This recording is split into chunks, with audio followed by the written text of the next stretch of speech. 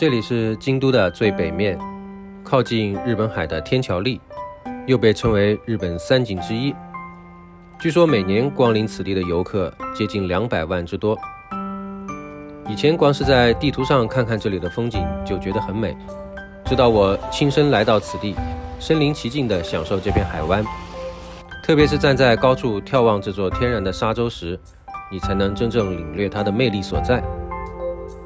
这是一条天然的沙洲，横跨整个宫津海湾，全长约有三点六公里，把这片海一分为二。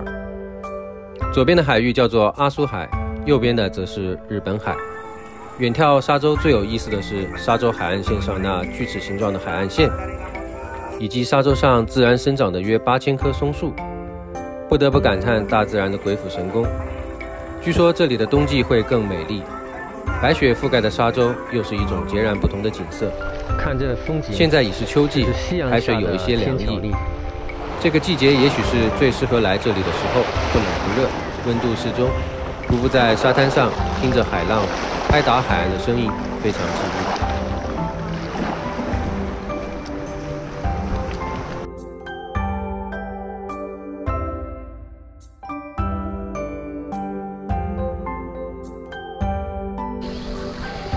朋友们，早上好啊！你看，现在才六点多钟，这地方要九点钟才开门呢。你看它这个，这里呢是天桥立展望台的缆车搭乘点，一般是上午九点开始营业。这呢也是登上山顶的唯一一条路。搭乘缆车呢有两种，一种是单人乘坐的，另一种呢是多人乘坐的，比较适合家庭人多的情况。这里啊，我就首推单人乘坐的方式，自由自在，视野呢也非常开阔。单程的时间约六分钟，推荐一定要提前准备好手机相机，不要错过这六分钟的绝佳拍摄机会。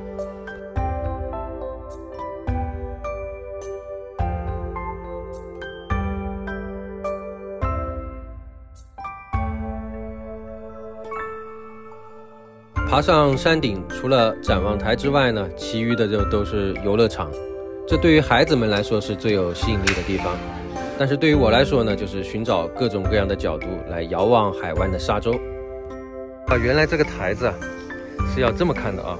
我们找了一个专业的模特，这边就可以有那个玩单车的啊，然后这里有个这里有个平台，就可以站得更高，看得更远。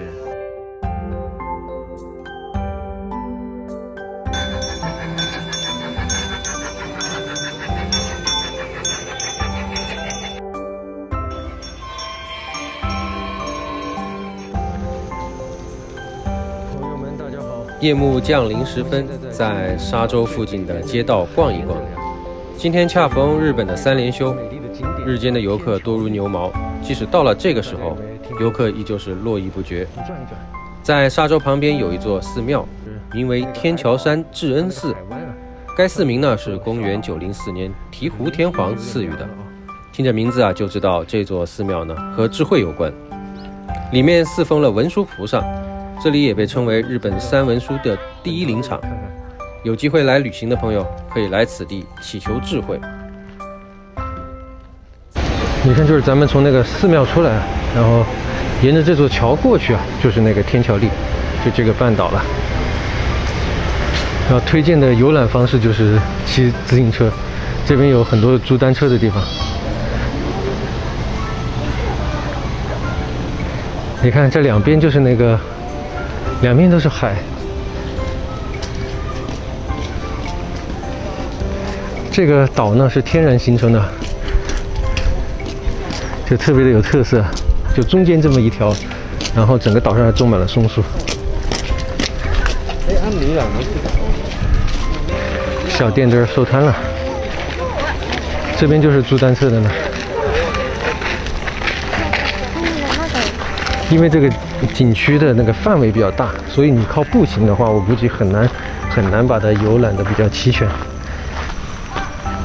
哦，那边还有 cosplay 啊，你看看，我也不好意思过去拍他们了，远远的看看，cosplay 是吧？这一边靠里边的这个海湾，这里面的这边海叫，我看地图上叫阿苏海啊。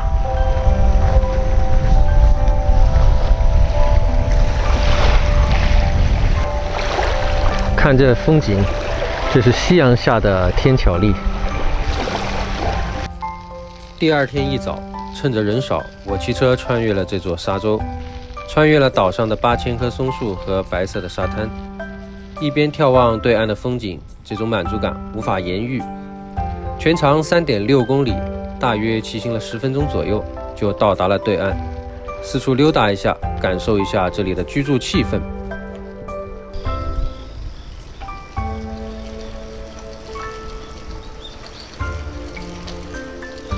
另外，在知恩寺的边上，还可以乘坐游轮游览整个海湾，也可以看到天桥立的小桥三百六十度旋转，让轮船通过的画面。只是可惜这一次没有看到，有些许遗憾。对于喜欢专业骑行的朋友，推荐沿着整个海岸线骑行。京都北面的丹后半岛的风光一定会让你流连忘返。